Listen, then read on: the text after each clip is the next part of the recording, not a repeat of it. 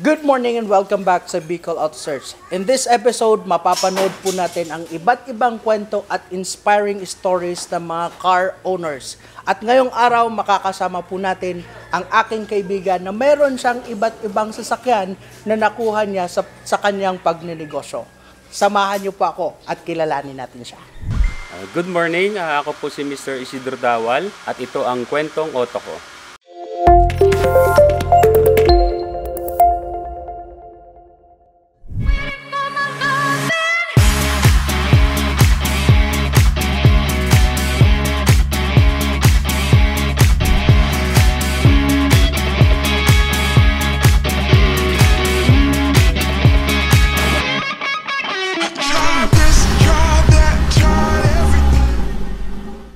Okay, bali nagkaroon po ako ng ah, first car ko ah, no way back 2015 ah, nung ako po ay ah, nagne-networking pa.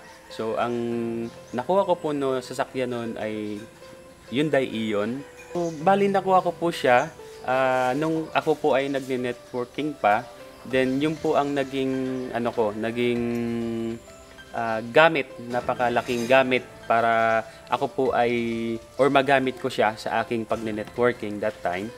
So, kumbaga ito binili ko hindi lang po dahil sa wants ko kundi po ay dahil sa needs ko talaga siya para mapuntahan ko po that time yung ah, mga clients ko. So naging madali siya. So parang instead na mag maglakad ako, ah, nung nabili ko siya, mas napapabilis. So that time, syempre nagda-drive ka na. So kahit saang ah, ah, client mo ay pwedeng-pwede mo nang mapuntahan. After ilang years, ah, dahil sa tuloy-tuloy na pagnenegosyo ko, ah, nakabili po ako ng Strada ah, 2015 model. So yun naman po ay ginamit ko ah, doon po sa aking traditional business na hanggang sa ngayon po ay yun na yung aking ah, patuloy na pinagkakaabalahan. Napakaganda kasi nagamit ko po siya, hindi lang po siya sa pampersonal, kundi ito po ay nagagamit ko sa mga deliveries ng, ati, ah, ng aking mga supplies. Okay? Ah, at ito po ay nakakarating na sa Luzon, Visayas, Mindanao. Dahil po sa ah, sasakyan na ito, dahil po sa nabili kong sasakyan na ito, ah, naging madali na lang yung ah, pag-access ko doon sa iba-ibang ah, lugar kung saan po nandun yung mga client ko. Dahil po dito, marami na po akong nabuntahan mula Luzon, Visayas at saka Mindanao. At dahil po sa tuloy-tuloy na pagnenegosyo, okay, ah, nadagdagan po ito ng isa pang sasakyan which is yung ah, Hyundai H100. So, binili ko naman siya dahil po sa ah, marami pong times, lalo na pag dumadating yung tag-ulan, yung ibang gamit natin sa ating ah, negosyo ay mababasain. So, kailangan mas, mas sealed siya, mas secured siya para pagdating sa ating ah, mga client, may deliver ito ay talagang hindi siya basya at in good condition siya. At sa kasalukuyan po, ah, meron tayong dalawang sasakyan dito. Ito po yung ah, ginagamit natin sa existing na negosyo natin. So meron tayo ditong ah, Estrada 2018 model at saka meron tayong Estrada 2021 model. Now, Sir Sid, um, ang daming kas ang dami kasi sa amin nagtatanong na paano ba ano ba yung magiging paraan nila para makabili sila ng sasakyan. And we all know na lahat naman siguro nangangarap na magkaroon ng sariling sasakyan. So, siguro I have here a series of questions na madalas na naibabato sa amin kung paano sila at anong dapat nila gawin. Ngayon, ah let's inspire others na pwede rin pala nila at kaya rin pala nila bilhin yung yung mga pang, pangarap nilang sasakyan. So, in your experience, nakita ko kasi ah, nagkaroon ka na ng limang sasakyan, Hyundai Ion, H100, at yung Strada, right? Lahat ba yon na, lahat ba yon na sasakyan mo brand new or second hand? Yes, ah, brand new lahat ng ah, sasakyan na, na nabili ko po. Pero ito po lahat ay installment. Okay. Okay, so hindi po ako ah, nagka-cash. Okay. Kasi sabi nga, syempre, sa panahon ngayon, kailangan palagi kang may ah, liquid na pinapaikot. Okay. Meron kang liquid lagi sa bank. So, ibig sabihin, ang ibig sabihin ko noon, ah, kayang-kaya natin bumili ng cash. Mhm. Kaya lang, instead na yung ibibili mo, di ba? Kukurot ka lang doon at Ah, ipang down mo siya. So, yung, sabihin na natin yung 70% nun ay magagamit mo pa sa negosyo. So mapaparolling pa talaga ano. Yes, May tama. matitirang puhunan sa ano. So uh, prefer mo talaga yung brand new or nung simula pa lang prefer mo talaga yung brand new. Oo, para sa akin kasi, that time, yung nag-iisip pa lang ako bumili ng sasakyan, ah, inisip ko na na brand new talaga. Kasi iba talaga ang dating pagka brand new. Pero hindi ko sinasabi, ano, sa experience ko lang or sa pananaw ko lang, kailangan syempre, pag ako ay bibili, kailangan brand new talaga. Kasi nandun yung excitement. Nandun yung excitement. Yung tipong pagpasok mo ng sasakyan, iba yung Iba yung amoy. amoy plastic. Joke. Hindi, iba talaga yung iba yung iba yung sa feeling. Ibig sabihin, mas na motivate ka, Oo, okay? oo. mas na bubus yung yung yung sabi nga yung energy mo Oo. para talagang at i-push mo pa na kailangan ah, Okay. i-push mo pa ng i-push. So hindi ko naman po sinasabi na kailangan ay ah, brand new lahat. Oo, oo. So nasa sa atin din po 'yon. Pwede rin po tayo sa sa second hand pero sabi nga ah i-check mo muna siya. Oo. Depende sa depende sa capability mo. Ano, kung ano talaga yung kaya mo. Kasi mahirap naman kung magbo-brand new ka tapos in the end di mo naman pala talaga kaya, 'di ba? So pero at least siguro kagaya mo dumating ba sa point na ah, nagsabay-sabay yung hulog mo dito sa mga sasakyan mo? Sabay-sabay, sabay-sabay talaga 'yan. Pag minsan tatlo, dalawa, tatlong sasakyan nagsasabay-sabay po 'yan. Pero hindi ko siya hindi ko siya iniisip na ito ay liability. Ah, oo. So iniisip ko na lang siya na ito ay investment talaga. Okay. Okay? What if dumating sa sa point natapos mo na yung ano, lahat natapos mo na. So doon ka naman babawi. eh. Oo. Doon ka na babawi. So hindi ko talaga siya iniisip na ah, gastos ito or liability. Oo, totoo. Investment ko talaga ito. Okay. So in your in your uh, personal uh, experience sa ngayon, ang sasakyan para sa is an asset. Yes, Tama? asset. Hindi siya liability. So nag-create siya or nag nag-generate siya or tumutulong siya sa Mas tumutubo. para para lumaki yung ano. Anyway, uh, start siguro start tayo doon sa sa Hyundai Ion mo kasi for sure naging memorable yun sa eh. Kasi yun yung first first car mo, 'di ba? Mm. Ano ba yung ano ba yung feeling mo nung time na um, yung nag-a-apply ka pa lang ng sasakyan, nung papunta ka na sa kasa, tapos kukunin mo na yung sasakyan mo, nung nakita mo na yung sasakyan mo, ano ba yung feeling na bilang bilang isang first timer na magkakaroon ng sasakyan? Iba, iba talaga yung pakiramdam pagka ah, first timer mo Oo. pa lang. Iba talaga. Yung parang hindi ka makatulog. Ah. oh, yung mag-a-apply ka pa sa, mag-a-apply ka pa lang tapos nalaman mo na approve ka na. Oo. Then grabe, ah pa grabe grabe.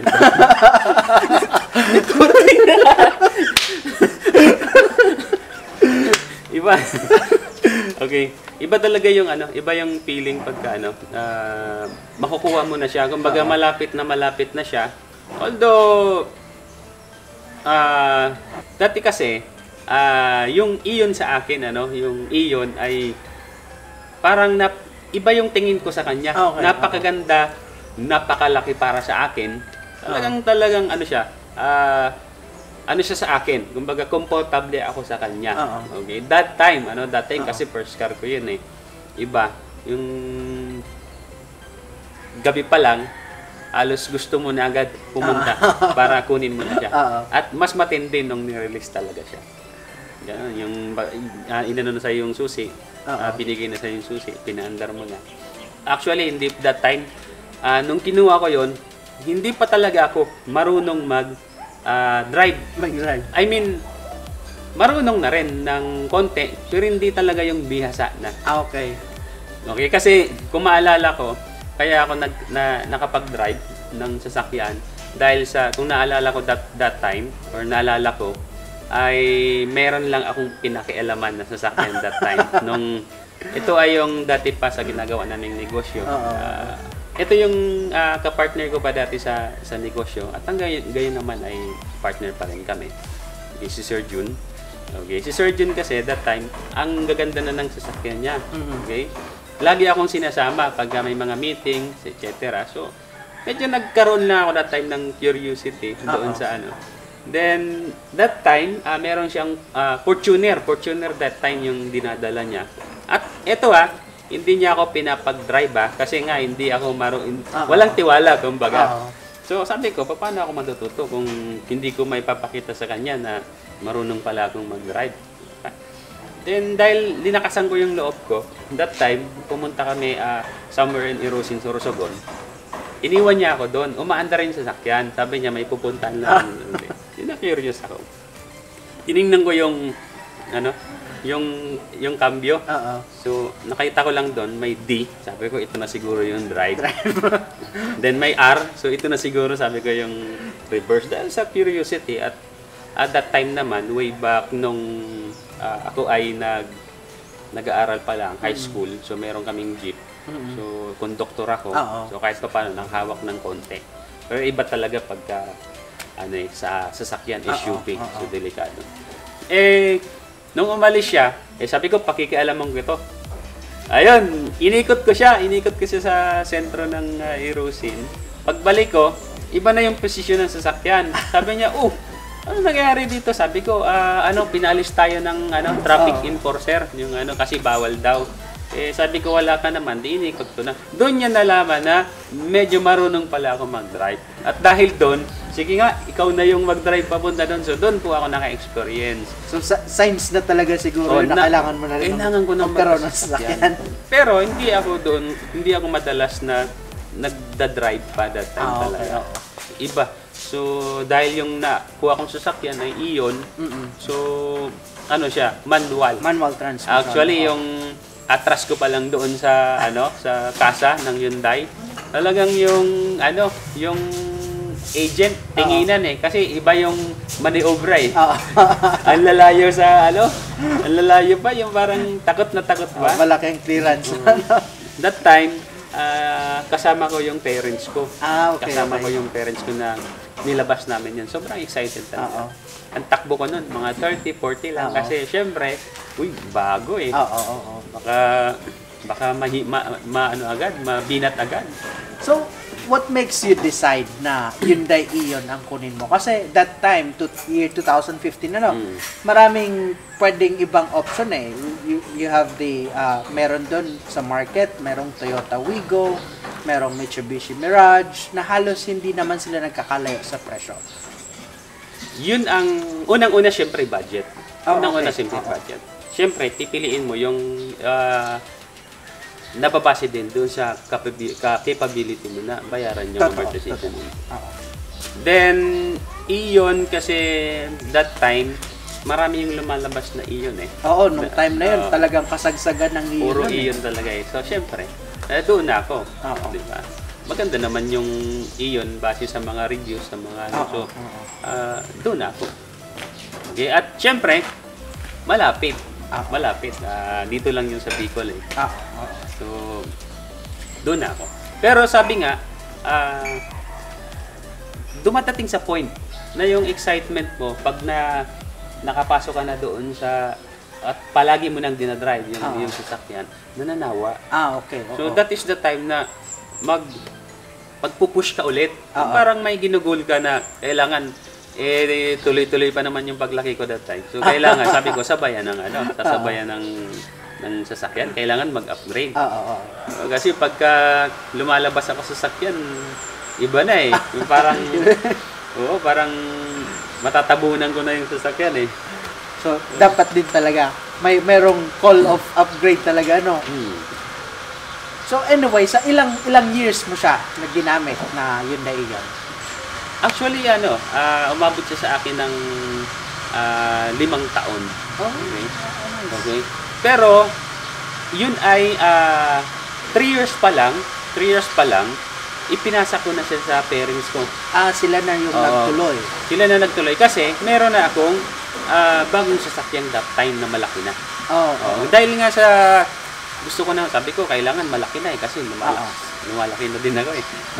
Tsaka, mas ano, am- sobrang layo na din ng Oo. mga tinatakbo natin. So, kailangan, sabi ko, medyo heavy duty na. Oo. Kaya doon ako nakaisip na kailangan i-push natin na kailangan malaki ng sasakyan. Okay. So that time, ipinas ah, yung nakabili ako ng ah, Strada, okay?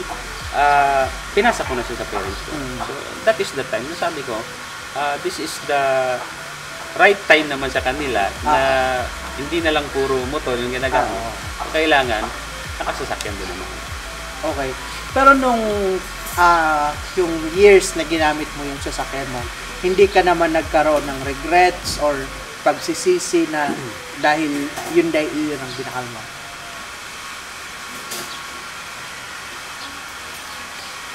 Hindi naman dumating yung time na sayang dapat ito na lang yung binakal ko. Sa akin hindi eh. Kasi gaya ng sinasabi ko, ah kinuha ko yon dahil gusto ko talaga. Ah, I see. Okay. Okay. Doon mo na lang maano eh, doon mo na lang ah, sabi nga ah, as time goes by, doon mo na lang ma, malalaman na ah, hindi na siya nagpipit sa iyo. So doon mo pa lang may isip na kailangan malaki na. Pero ako bumibili ako ng sasakyan depende sa paggagamitan ko. Okay, yung una, maliit lang kasi unang-una, yung pa lang yung kaya ko. At the same time, hindi pa naman ganong kabigat yung mga mga dinadala ko. Talagang ginagamit ko lang siya service. Eh sa ngayon po dahil sa medyo medyo mabigat na ah, yung medyo madami ng materials ang ginagamit natin sa mga negosyo natin, may mga equipment na kami. So kailangan heavy duty na siya mas malaki. Okay. So sige, how about doon na tuloy tayo sa H100? Parang naging loyal ka sa Hyundai, ano, from Hyundai Ion, then pumunta Strada. ka sa, Strada muna. ah, Estrada muna. Okay. Okay. So pumunta ka na sa Estrada. Now, yung Estrada, nag-ibig sabihin, from, from, from Hyundai Ion, nagpalit ka ng Estrada. Bakit, bakit pick up agad yung pinili mo? Hindi ka pumili ng, ng SUV or Montero, Fortuner. Okay, pick up kasi sabi ko nga, ah, depende sa gamit. Mhm, mhm. So, pick up kasi depende. Anin ko naman yung, sabi nga, anin ko naman yung SUV. Oo. Ano naman, ikakargaan ko ng halimbawa. So, hindi siya pwede. Ah, okay, Gustuin ko okay. man, okay, actually, para sa akin, maganda SUV. Di ba? Mm-mm. Ah, Fortuner, Montero, lahat na ah, SUV dyan, maganda. Pero iniisip ko muna yung gamit. Mhm. Ah, kung hindi kung hindi siya pwede sa paggagamitan ko, hindi talaga siya pwede. So kaya bumili ako ng Strada pickup kasi Oo. dahil nga doon sa nagkaroon tayo ng panibagong opportunity, business na may mga equipments na siya. Okay, uh, sig- siguro, sige, for business. Gagamitin mo siya for business. Sige, ibahin natin yung tanong. Why Estrada? Bakit hindi, meron naman ibang pickup like ah, Toyota ah, Hilux, meron naman Ford Ranger, merong Isuzu D-Max. Bakit Estrada yung naging option? Ang gandang tanong yan ah. Kasi nakikita ko, parang naging loyal ka na ngayon Oo, sa, ano, sa tama. Mitsubishi. Oh, Actually, ano talaga, hindi na lahat naman ng pickups or pickup trucks magaganda. Branded, maganda. Kaya lang, ah, nung nagtingin-tingin ako ng mga reviews, nagtingin-tingin ako, pumunta ako ng kasa actually. So, kaya dahil sabi ko nga, baka pwedeng kita, mga gano'n. Pag na, pagka napupunta ako in somewhere in Camarines Sur, Naga City, sa Caleb that time Oo, talaga ako. Caleb. Yun ang lagi kong dinadaanan, nadadaanan pagpunta ng Naga. Sabi ko, bago na naman. Model na naman to ng ano, babaan pa ni bagong model ng Estrada na naman. Sabi ko, makukuha din kita, sabi ko. Then, hanggang sa nagkakaroon na din ng ano, ah, pagkakataon na kumita ng malaki-laki. Okay? So, ginol ko talaga siya na makuha. Nung kaya ko na, sabi ko, kaya ko nang kumuha ng ah, pickup truck. Pumasok agad sa isip ko, Estrada. Kasi yun lagi ang ah, nakikita ko. Tsaka, marami din akong mga kaibigan kung na may mga pick-up. Lahat po sila na nasakyan ko na. Mhm. Nasasakyan ko. Yung ako po ay, ano pa lang, ah, nasa, ah, tawag doon, katabi ng driver. Ah, parang pinapakiramdaman mo pala. oh, yung mga, naka, na, na, ano, na, parang doon, nagkakaroon na ako ng impression doon sa mga Ah, pick-up. oo. Sabi ko, mukhang ano ito ah, medyo sagad ah. Hindi naman ako kahabaan na tao or ka, Ah. kalakihan ng sobra. Pero sabi ko parang iba ah. Hindi ko nababanggitin yung isa-isa na Oo. kung anong klase yon. Then, nung ito yung nasakyan ko, yung mga kagaya nito na Estrada. Estrada. Doon ako nagkaroon ng ah, parang comfortability na Ah, okay. Oo. sabi ko, maluwag ah. Oo. Tapos yung mga ano niya sa loob, tinitingnan ko yung mga ang tawag doon. Ah, Features. Features, mga ano. Yun, na, na-attract niya talaga. Kaya sabi ko, ito na, ito yung pagka nagkaroon ako ng pagkakataon na makabili ng sakyan ng malaki-laki, ito talaga yung bibili ko. So, as of now, you have, ah, nagkaroon ka ng tatlong strada. Tama? pero yung isa, ano na yun, na-dispose na. Ah, okay. So, ibinenta na rin. Naben, nabenta na yung ano yung isa. Okay. Ah, so sa ilang years na paggamit mo ng Mitsubishi Strada, kumusta yung ah, expenses mo pagdating sa maintenance ng sasakyan?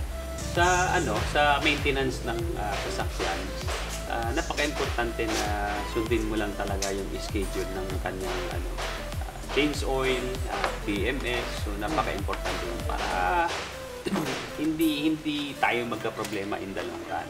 Kumbaga habang inaalagaan natin siya ng maayos, ah, aalagaan ka din niya ng maayos. Sasamahan ka niya hanggang sa dulo ng ng yung tagumpay. Oo, tama. So since since brand new siya, definitely talagang sa kasa ka nagpapamaintain. Kasa, kasa talaga. Ah, ano yun? Every every other month ba? Or ah, may certain count ng mileage bago ka magpa... Meron. Ah, meron kasi yan eh. Depende kasi sa ginagamit na na oil. Mm. So pagka ginamit mo, ang ginagamit kasi dito yung ano lang, ah, semi semi synthetic na oil. Kasi para every 5,000 nag pu- pumupunta ka ng kasa Mm. para hindi lang po yung mapalitan ng change oil, kundi para ma-check din yung brake niya. Okay. Napaka-importante kasi yun. Sige. Kapag mga basic maintenance, ah, magkano ang inaabot mo sa kasa? Kahit yung price, yung range niya lang.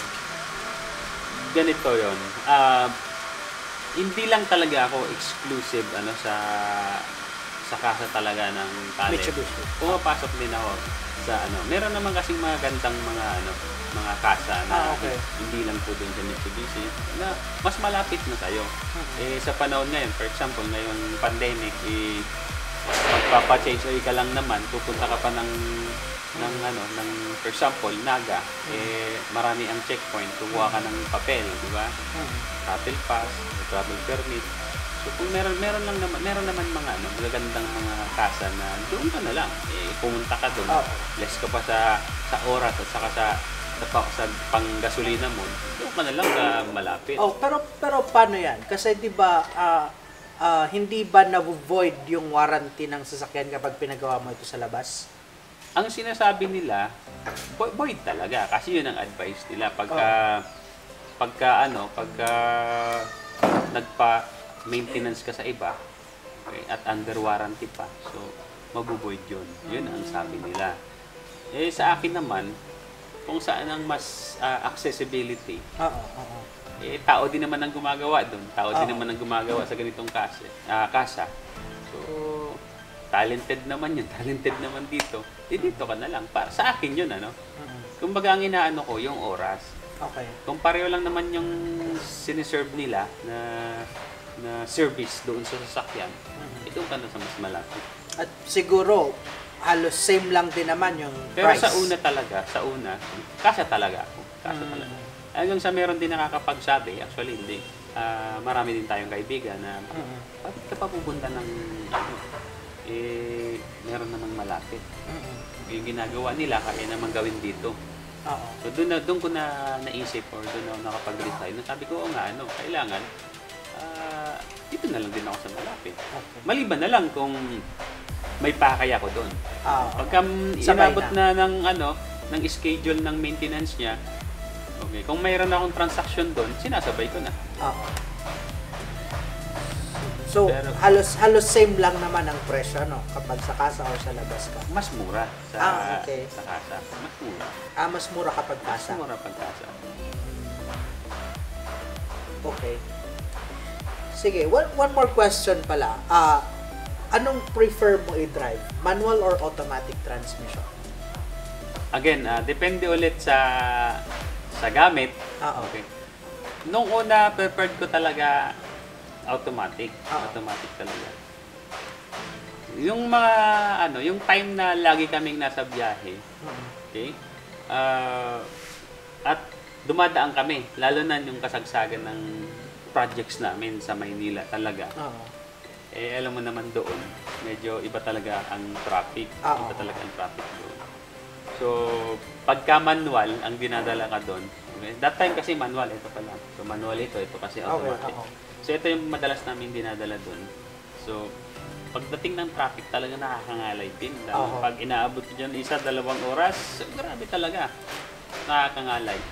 Nung nasubukan ko mag-automatic, sabi, subukan ko mag-automatic. Abay, ano, relaxing lang talaga. siya. Oo.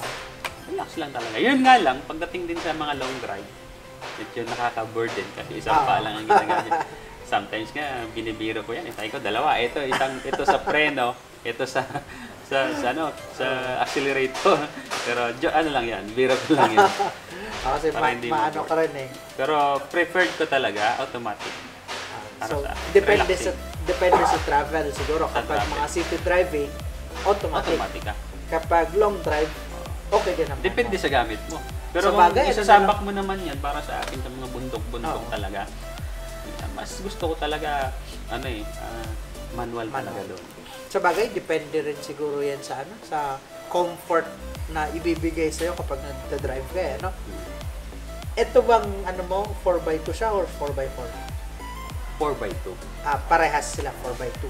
Again, depende sa gamit. Ah. eh, kami, siyempre, pibihira yung nag, nag ano, yung bumibili sa amin ng, sa business ko ngayon ah, Oo. bibi- mas madami yung nag, nagpo-purchase na nasa city, i-compare Oo. mo sa nasa bundok. Okay. Oo, kasi sa sa nature ng business ko, eh, siyempre, Ah, ah. ah, tubig. So, mas marami doon sa, Ah. ano, sa city talaga, kung saan crowd area. So, anuin ko naman yung, ano, ah, 4x4 doon. Ah, okay. Okay na tayo sa 4x2 lang talaga. Same question sa iyon. Ah, wala ka naman ba naging regrets or naging pagsisisi na ito yung binili mo na Estrada? Wala naman. Wala naman talaga. Ang ano lang, ah, mga na-experience ko sa sa sa ano sa unit wala. Hmm. Pero sa gamit ah, medyo ano lang talaga siya. Ah, pag kinargahan mo siya Mm-mm. ng equipments, okay? Mga equipments na hindi for example, hindi siya bababa ng ay, hindi siya tataas ng 1 ton. Below 1 ton eh yung equipment namin below 1 ton. Smooth siya, smooth siya i-drive. Kahit medyo ano, rough yung mga daan, rough road siya, okay lang din. Pero pag ginamit mo siya as ano, ah, ikaw lang, pang site visit or may pupuntahan ka lang, medyo mata ano lang talaga, matagtag. Pero aware naman ako doon kasi alam mo naman yung mga pick-up na ito ay medyo kinakargaan din talaga. Ah. May purpose siya. So, naka ano siya eh. ah, tawag doon, sa ilalim ng ano, hindi siya yung spring lang. Ah. Meron siyang kumba mulgi. Ah, may mali. Yung mulgi. So, yun talaga yung medyo Pang heavy duty pang talaga heavy siya. duty nagpapatigas doon. Okay. Sige. Um, as of today, ah, meron ka pa bang plano na magdagdag ng sasakyan or bibili ka ba ba ng panibagong Estrada? Ano ba yung mga future Okay, sa? Estrada okay na eh. So- Sold na ako eh. Kasi sold na eh. Ang napaka-importante sa akin ngayon, sabi nga, eh, talagang ano tayo eh, ang pinaka-importante sa akin, yung gamit na lang talaga. Oo. So, okay na, na, na, nabili ko naman yung Estrada, sold naman ako sa gamit. Pero ang pinaka-point ko na talaga ngayon naman is yung maibibigay din talaga na yung sasakto, mag-fit siya doon sa pinagkakaabalan ko ngayon. Okay. So actually, ah, magtatag-ulan na, di ba? Aha. So magre-rainy season ha. Yun naman ang medyo pahirapan sa amin. Kasi for example, magkakarga ka. lahat ng gamit mo nasa likod. Pag minsan, pag hindi mo na-shield ng, ng tama, lumulusot, tumatagos yung ano, nababasa talaga. So kaya naisipan ko, actually may paparating ako na ano sasakyan, yun po ay L300. Oh, Mitsubishi ulit. nice. Ibig sabihin, loyal na loyal ka talaga Oo, sa pero Mitsubishi. hindi na siya istada kasi ano siya eh. ah, ang advantage naman, syempre, nakita ko din yung ah, ano yan, ah, is, ah, specs, niya. Specs na. Eh, na Euro 4 naman. Is pinaganda. Mas tumaas na eh. Tumaas na siya ng konti. Tapos turbo, di ba? Ah. Turbo na yon. Then, tipid sa, ano, sa diesel. Oo. Then, safe yung gamit mo. Ah.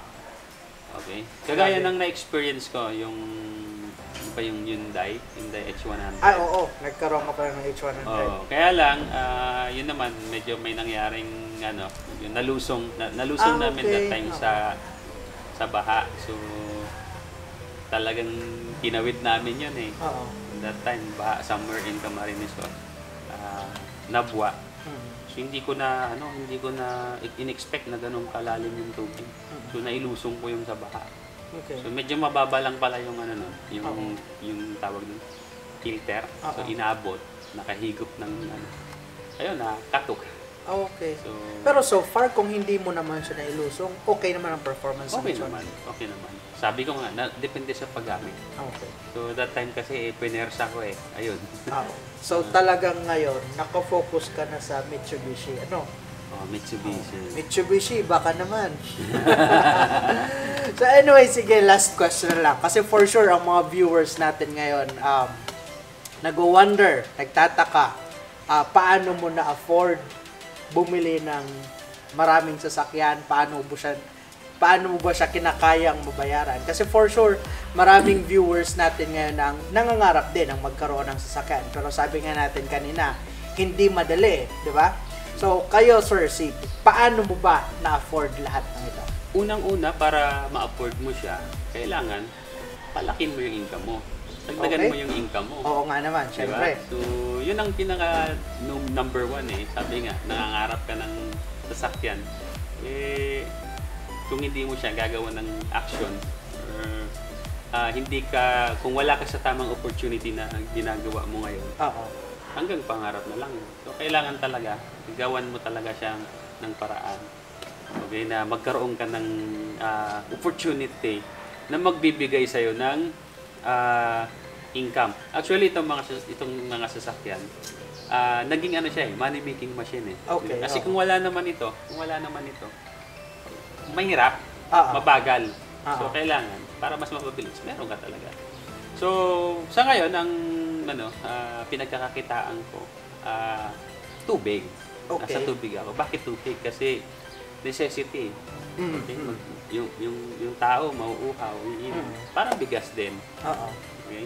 So, kailangan ng tao talaga. So, kung magne-negosyo tayo, kailangan yung ah, needs ng Mm, tao. tama. Okay, na kahit sa ngayon, actually pandemic, pero kami tuloy-tuloy pa rin. Oo. So bakit tuloy-tuloy pa rin? Bakit yung iba nagsasara? Kasi kami, kailangan Okay. ng tao. So, eto, nagnegosyo tayo. ah, na-registered yung ating business is 2017. So, So, four years. four years na din tayo sa negosyong tubig. Okay. Sige. So, ano ba sir yung ano, ah, to be specific, kasi mal- malay natin sa viewers natin may nanonood na gusto rin gawin yung ginagawa mo or or sabihin natin na maging part ng magkaroon din ng tubig nego, na negosyo na tubig na pwede rin nila maging extra income na mapagkunan ng extra money para makabili sila ng sasakyan. Yes.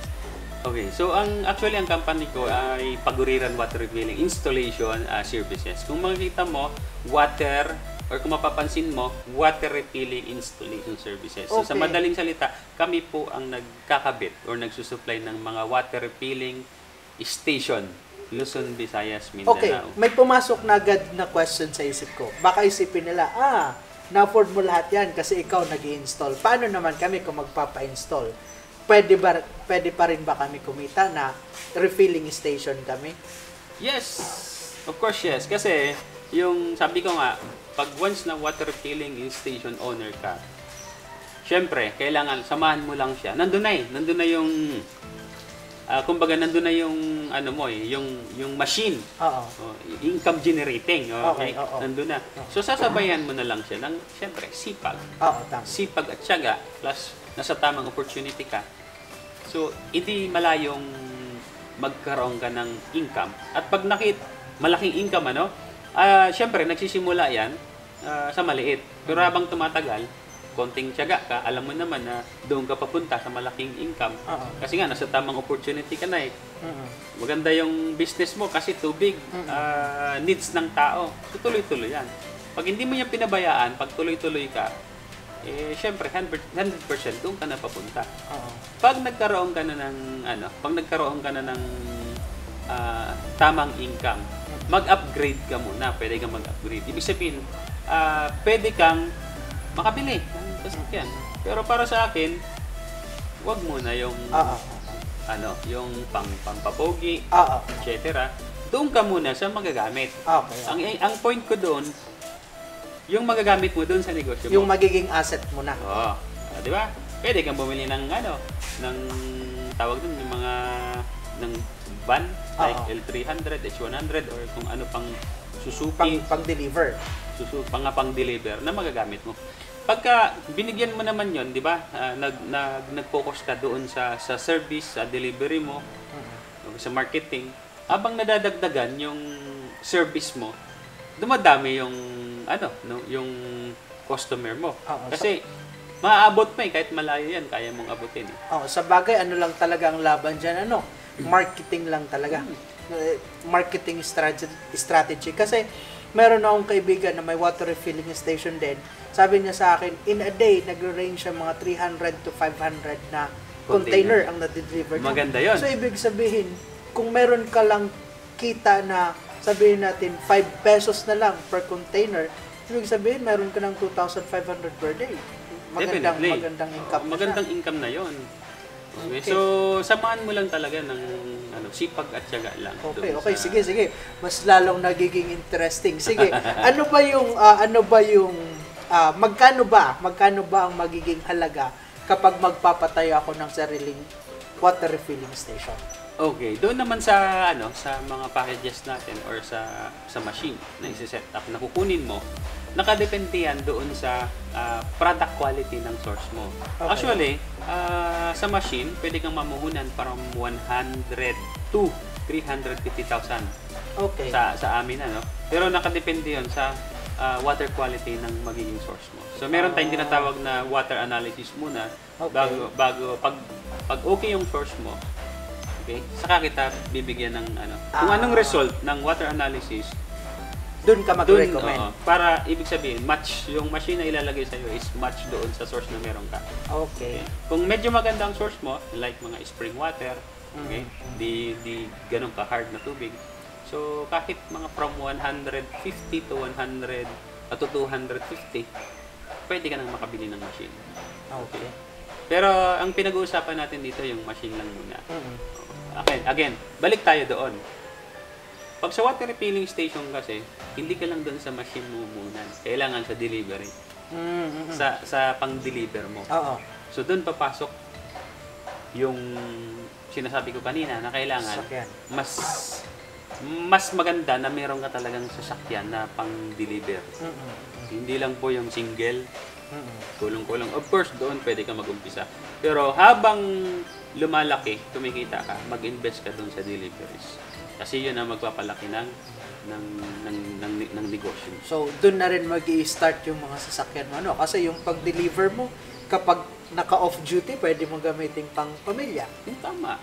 Eh, hindi naman, ano eh, um, baba, L300, hindi naman lang talaga pang business Oo. yan eh. Pwede mo yan gawin pang, actually, mas marami pa yung may sasakay mo. Oo.